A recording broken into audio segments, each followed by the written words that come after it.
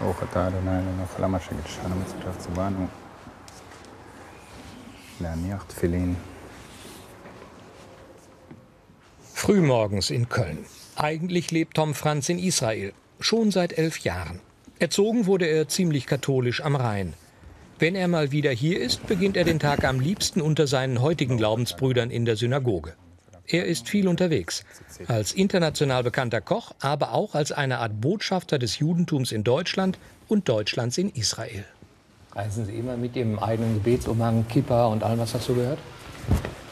Ich habe äh, immer alles dabei, was dazu gehört, um den Tag ja, mit Gebet zu beginnen. Und dazu gehören die Gebetsriemen ja. und der Talit und der Sidur, mein Gebetsbuch. Und der Tefillin, die Gebetsriemen an Arm und Kopf. In den Schächtelchen aus dem Leder von koscheren Tieren befinden sich Pergamente mit Texten aus der Tora, dem Grundstein des jüdischen Glaubens, den fünf Büchern Mose.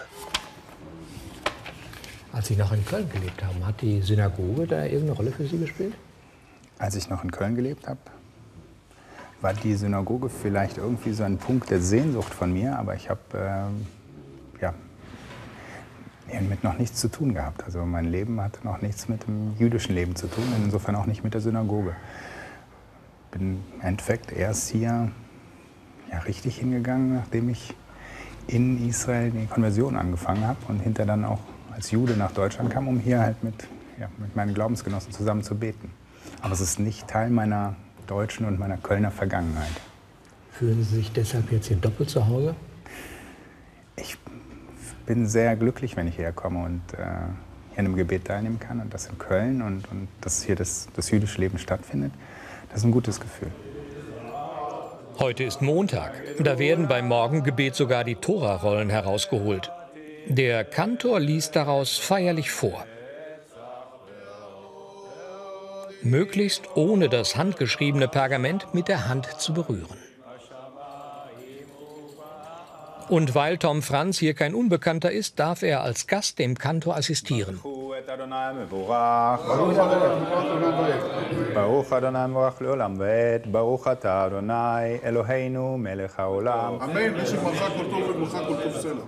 Eine große Ehre für den konvertierten Juden, der heute in Tel Aviv lebt.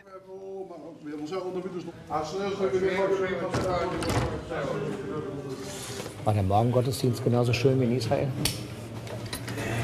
Es ist anders, wenn ich hierher komme. Ich muss äh, hier ein ganzes Stück mit dem Auto fahren, um hierher zu kommen. Und äh, es fängt noch viel später an. In Israel fange ich morgens um 6 Uhr, also schon beim Morgengebet an.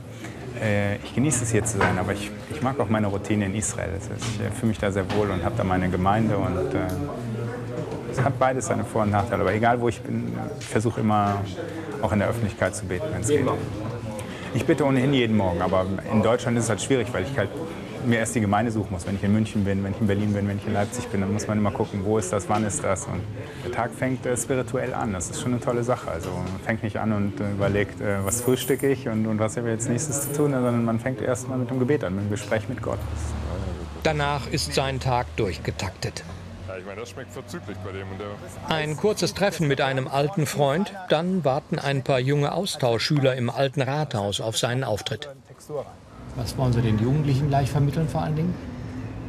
Ich habe äh, vor, vielleicht dem einen oder anderen Lust zu machen, auch an so einem Jugendaustausch mitzumachen und teilzunehmen, Israel zu besuchen und uns wirklich kennenzulernen.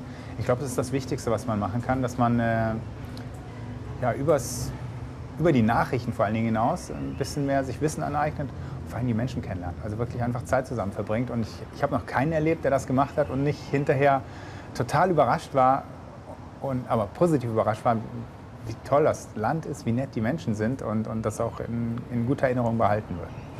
Auch bei ihm selbst begann die Liebe zu Israel mit einem Schüleraustausch. Später dann kam der Zivildienst bei Aktion Sühnezeichen. Hallo Franz. Hallo Timmer. Auch seine Frau hat er in Israel kennengelernt. Aus seiner deutschen Herkunft hat er nie ein Geheimnis gemacht. Auch nicht bei dem Kochwettbewerb, der ihn in Israel berühmt gemacht hat. Ganz im Gegenteil. Davon habe ich viele Sachen gemacht, die aus Deutschland kommen, die auch aus Köln kommen. Also ich, ich habe mich also nicht versteckt, ich, dass ich kein Deutscher bin, dass ich äh, kein Jude war, sondern ich habe das alles ganz klar durch mein Essen auf den Tisch getan und habe dazu die Geschichten erzählt. Und das ist unheimlich gut angekommen. Geplant war ganz etwas anderes. An der Uni Köln hat Tom Franz Jura studiert. Seit dieser Zeit war er nicht mehr hier. Vermisst hat er den Erfrischungsraum des Studierendenwerkes allerdings auch nicht. Also ich hätte, musste tatsächlich jetzt nachdenken, den Weg zu finden, aber jetzt, wo ich hier bin, es sieht alles für mich gleich aus. Vielleicht sind ein paar neue Schränke da oder sowas, aber es ist, äh, ist alles beim Alten geblieben. Ne? Also wieder Universitäten verändern sich nicht so schnell. Ist schön, wieder hier zu sein. Ach, das ist schon schön, mal wieder hier zu sein. Also ich habe, äh, ich war jetzt ein gutes Jahrzehnt, dass ich nicht mehr hier war und äh, das frischt mal wieder Erinnerungen auf. So, Erst einmal wurde Tom Franz Rechtsanwalt. Doch in Israel hatte man nicht gerade auf einen deutschen Handelsrechtler gewartet.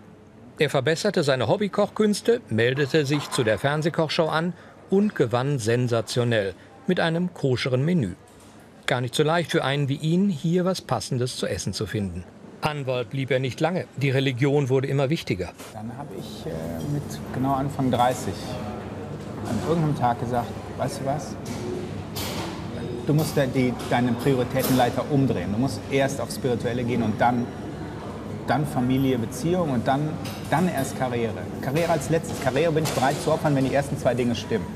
Und das habe ich gemacht. Ich bin gegangen und habe meine Karriere geopfert. Und habe dann voll auf Spiritualität gesetzt. Als nächstes kam wirklich, als hätte ich es geplant wieder, dann kam Liebe und Familie. Und jetzt, ja, zum Schluss kam sogar noch die Karriere oben und drauf, auf die ich bereit war zu verzichten. Sie kam in einer ganz anderen Richtung. Ich meine, wer hätte damit gerechnet, dass derjenige, der eine Juristenkarriere aufgibt, dann als, als Koch macht? Als solcher ist er diesmal vor allem nach Köln gekommen. Für eine große Gala mit knapp 100 Personen. Der Autodidakt gibt dabei lauter Profis den Takt vor. Sie kochen seine Gerichte, eine Mischung aus Orient und Okzident. Verstehen Sie sich eigentlich als Koch, Herr Franz? Das ist eine gute Frage. Also ich muss wohl schon sagen, mein Leben dreht sich seit drei Jahren immer ums Kochen, immer um Rezepte. Und ähm, ich denke, daher kann man sagen, ja, ich bin Koch. Also es ist, ähm, anders kann man es wohl nicht beschreiben. Obwohl Sie es ja nie gelernt haben in dem Sinne. Also mein Vorteil ist ja, dass man, um, um als Koch akzeptiert zu werden, nicht wie ein Pilot oder ein Anwalt oder ein Arzt äh, ein Diplom haben muss, äh, wo man dann, äh, damit man auch von den Leuten ernst genommen wird oder von ihnen, dass sie einen den Dienst geben lassen. Als Koch reicht es ja, wenn man wirklich gut ist und es schmeckt. Heute in Köln hören acht Profiköche auf sein Kommando. Die Gäste kommen, um zu genießen, um 50 Jahre deutsch-israelische Beziehungen zu feiern und Geld für einen Kindergarten in Israel zu sammeln. Mit dabei der Vater, der Bruder und die Ehefrau von Tom Franz. Der kümmert sich jetzt erst einmal um die Messe. Kleine Vorspeisen und Dips, wie Honig mit Thymian und Olivenöl. Vieles davon direkt aus Israel. Ich habe also einen Koffer voll, knapp 20 Kilo habe ich Zutaten mitgebracht. Das meiste ging in die Patisserie und hier habe ich auch einiges mitgebracht. Also der Koffer war voll. Also ähm, Wäsche zum Wechseln haben Sie aber auch noch mit.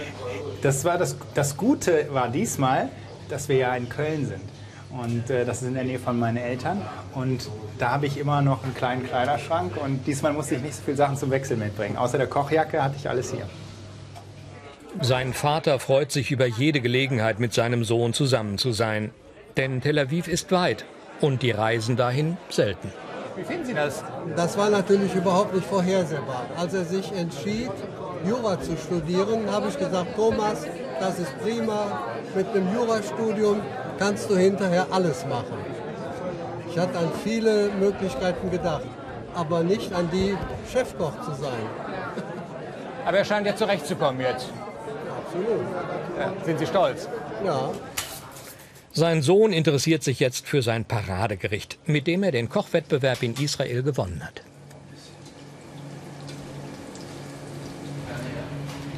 Das wird gut. Ja, wir machen ja auch heute Abend Reibekuchen. Ne? Das hat aber auch, Koscheren Reibekuchen. Ja, in dem Sinne koscher. Ich meine, koscher und Reibekuchen kann ich wieder nur in der koscheren Küche machen und nicht überall. Was hätte, da passieren, was hätte da passieren müssen, damit diese Küche hier komplett koscher gewesen Eine, wäre? Kosche, eine, Kosche, eine, eine Küche koschern ist sehr, sehr aufwendig. Also man muss alles erstmal besonders reinmachen, dann muss es aber auch noch rituell gereinigt werden. Das heißt, es werden viele Gegenstände müssen tatsächlich auch mit, mit Feuer bearbeitet werden entweder und andere Gegenstände müssen in, in, in die Mikwe, ins Ritualbad eingetaucht werden, um koscher zu werden. Das sind Vorgänge, die, die sind sehr aufwendig. Und vor allen Dingen ab dem Zeitpunkt, wo es dann einmal koscher gemacht ist, darf es nicht mehr in Berührung mit irgendwas kommen, was nicht koscher ist. Das heißt, wenn wir jetzt für ein Event eine Küche koscher machen, dann dauert das zwei, drei Tage, die zu koschern. Und dann bis zum Event darf hier keiner einen Fuß reinsetzen und kein einziges nicht koscheres Produkt reinkommen, damit das Event, das Essen, was rauskommt, wirklich koscher ist. Deshalb ist das Essen heute auch nur koscher-Style. Die Reibekuchen bekommen einen orientalischen Touch durch Gewürzkompott und Sirup. Das Landhaus Kuckuck hat einen Michelin-Stern. Mit solchen Topköchen arbeitet der Autodidakt Tom Franz sonst nicht. Und einer wie Jürgen Pohl nicht mit einem Koch aus Israel. Haben Sie schon viel gelernt heute? Wir haben schon viel gelernt, ja. Zum Wir Beispiel? lernen eigentlich täglich dazu. Neue Zutaten. Dann Verarbeitungsweise. Aber die Reibekuchen, die kannten wir schon. Nur nicht so. Auch dem besternten Küchenchef Erhard Schäfer scheint es zu schmecken. Er hat das Kommando über seine Küche heute gerne abgegeben. Das Niveau steigert sich im Laufe des Abends noch. Musikalisch mit dem Duo Lorenzen aus Tel Aviv und auch kulinarisch. Da gibt es zum Beispiel Thunfisch-Ceviche mit rote Beete Carpaccio. Herr Franz, Sie wirken nicht unstolz gerade. Also das sieht schon fantastisch aus, was wir hier aufgerichtet haben. Also ich bin mehr als zufrieden. Auch wenn er zu Hause bei seinen Eltern ist, kocht er koscher. Ob das abfärbt? Nee, nee, wir kochen ganz normal die Kölsche Küche. Sein Sohn, der ehemalige Jurist, wirkt auch beim Kabeljau mit Püree von Jerusalem-Artischocken ganz bei sich. Vielleicht hinkt der Vergleich. Ich würde das fast mit jemandem vergleichen, der sein Leben lang äh, heterosexuell gelebt hat und dann auf einmal gemerkt hat, dass er homo ist. Und ich hab, war mein Leben lang Bankkaufmann und Anwalt, bis ich dann die Chance hatte, rauszukommen und zu merken, ich will ja eigentlich Koch sein. Ich, ich fühle mich viel mehr in meiner Haut, wenn ich Koch bin, als wenn ich einen Anzug anhab und äh, Fälle bearbeite.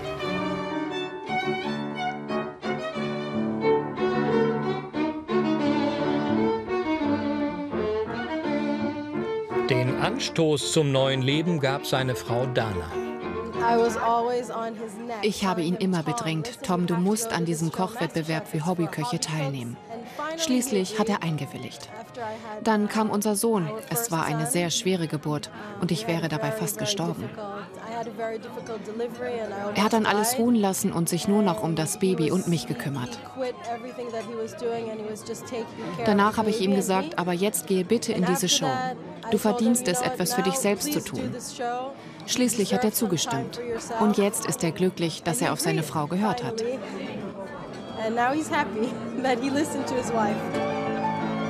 Wie man sieht.